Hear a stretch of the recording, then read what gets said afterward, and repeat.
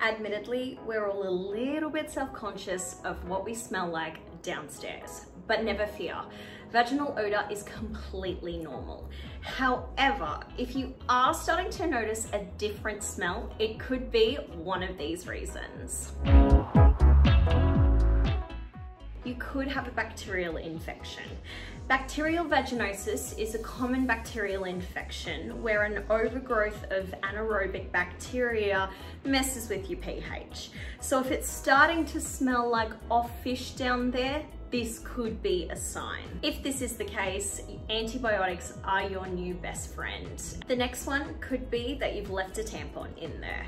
Trust me, this happens much more often than you would think. Another reason could be sweat. Another one could be that you have urine in your underwear. And finally, you could have trichomoniasis. We will say it once, we will say it again, sex is amazing. But what's not fun about sex is an STI, and trichomoniasis is one of these. So if you're a little bit worried about this, book yourself in with a doctor and get a course of antibiotics stat.